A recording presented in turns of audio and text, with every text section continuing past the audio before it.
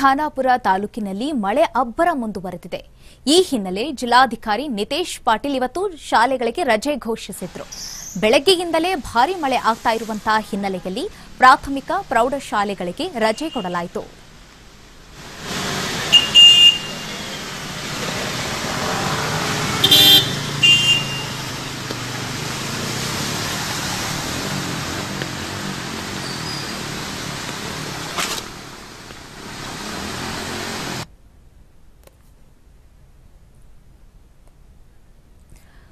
Belagavi